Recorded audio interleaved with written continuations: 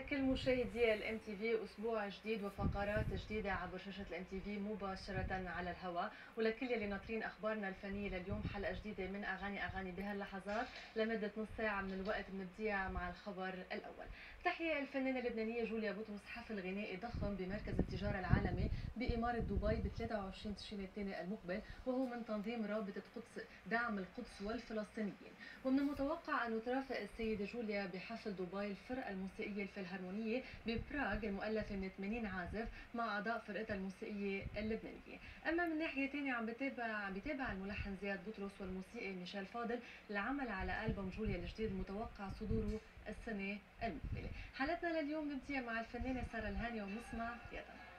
بحلقتنا لليوم اختتمت الفنانة مجد الرومي لقاء الشبيبه مع قداسه بابا بنديكتوس الثالث عشر بالبطريركيه المارونيه بتكركي وقدمت ترنيمة طوبى للساعينة يلي لقت صدى ايجابي من آلاف الحضور من مختلف دول العالم لحضور اللقاء وعلى راسهم فخامة رئيس الجمهوريه العماد ميشيل سليمان وكان تم استقبال البابا باللقاء على وقع أغنية صوت الحدى للفنان عاصر حلمي. بنتابع مع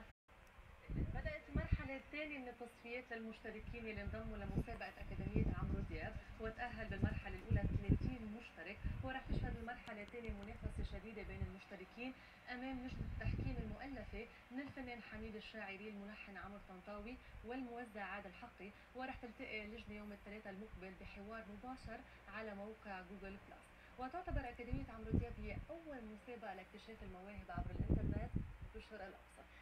بنتابع ونسمع من السوبر ستار راغب علامة أنا ضايع من دونك حبيبي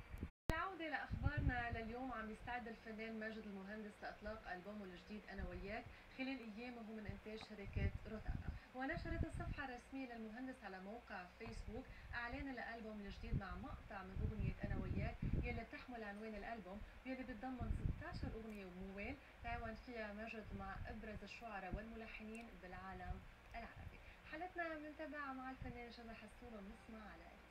مشاهدينا على حلقتنا لليوم والخبر الخامس شاركت الفنانة اللبنانية هيفا وفي بافتتاح متجر جديد للمصمم العالمي روبرتو كافالي بمدريد بإسبانيا ونشرت هيفا على صفحتها الرسمية على موقع فيسبوك صورة بتجمعها مع كافالي من الحفل الافتتاح. وأيضا كانت هيفا شاركت بوقت سابق بافتتاح النادي الليلي الخاص بكافالي